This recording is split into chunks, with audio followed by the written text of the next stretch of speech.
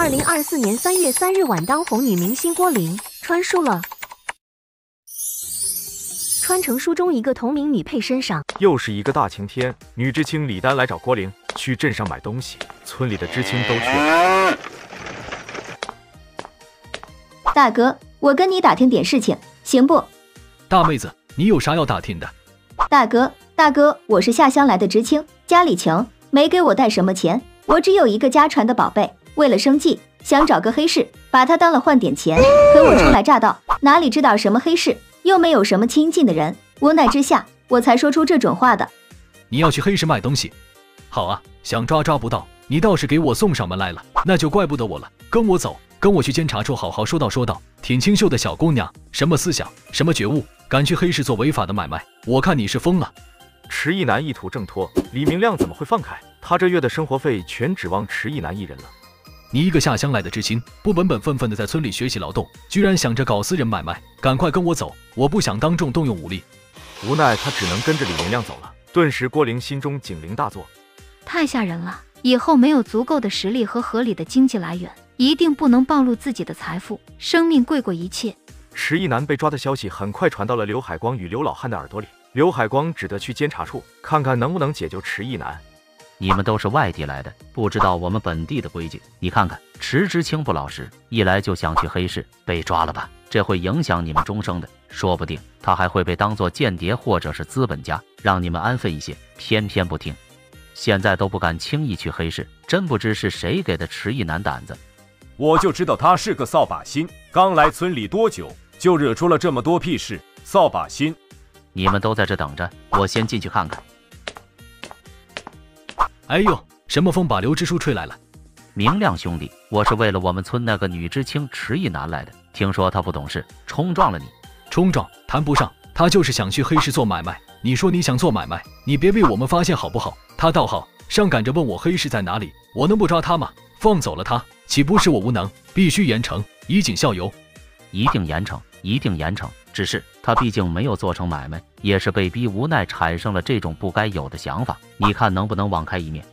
放了他，哪有那么容易？我得把这件事情上报给领导，让领导定夺。刘支书，不是我说你，你就是太和善了，管教不严，知青犯错，连累你们整个村子。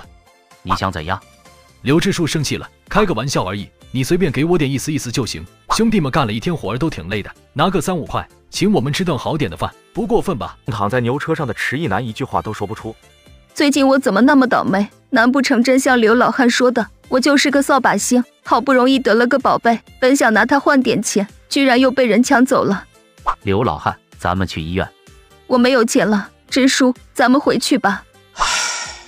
钱的问题你暂时不要管，去医院吧，命要紧。这便是刘海光的优点，更是他的缺点。他的心太软。很快，迟一男检查完毕，抓了点药后，被李丹搀扶出来。突然，迎面一个男子撞上了迟一男。同志，同志，你怎么样了？同志，你能听到我说话吗？这是怎么回事？好痛，我好痛！我靠，你在搞什么？我不过是不小心撞到了人，怎么会给人撞得倒地不起？我哪里有这么大的力量？李丹慌忙想要将迟一男扶起，可他一人之力实在不够。韩以泽顾不上男女有别，将迟一男抱了起来，坐在椅子上。刘海光等人在一旁围观。好痛！男人很是焦急，他直接从兜里掏出了二十块给了迟一男。我叫韩以泽，住在政府旁边的家属楼，有事去那里找我。今日有急事，实在抱歉，麻烦各位送他去看看医生。他后续有什么问题，你们只管去找我。韩以泽。真是无巧不成书啊！现在原文中的男女主都已经聚齐了，按照书里的发展，迟一男很快会和韩以泽坠入爱河，紧跟着迟一男阴差阳错获得了我的玉佩，最后迟一男用玉佩里的空间慢慢发财，又加之灵泉水辅佐，名震四方。可这一次玉佩已经被我滴血认主，又会发生什么呢？郭玲有些迫不及待想要知道后续了。迟一男看着手中的二十块，望着韩以泽消失的地方，哈哈哈。韩以泽一定是觉得我漂亮，才会如此大方给了二十块。有了这二十块，接下来的日子我不怕了肚子了。迟志清，你怎么样了？我没事，大夫给我开了点药，让我回去好好休养一阵就行。支书，谢谢你替我付医药费，我暂时没有钱还你，我所有的钱都给了监察处，这二十块不属于我，等回头我得把钱还给刚刚那位同志，不是我的东西，我是坚决不会要的。好吧，刘老汉借给你的钱，我回去再给他。郭玲看着迟一男做作的模样，别开了眼。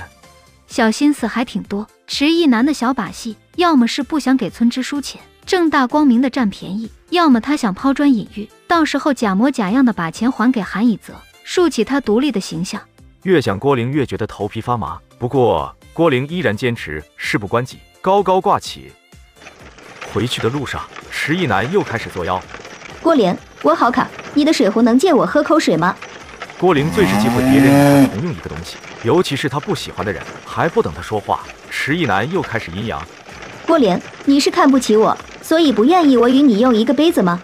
迟意呢，马上就到村子里了，你再忍忍。郭玲的水壶那么小，哪里还剩水？折腾了一天，他的水壶早就空了。是吗？可我听着里面还有水呢。想膈应老娘，下辈子吧。杯子有水，但就是不给你喝。说罢，郭玲拧开水壶，一饮而尽。郭玲，你果然看不起我。我知道你家庭条件好，是看不起我这种贫苦出身的。我知道的，我知道的。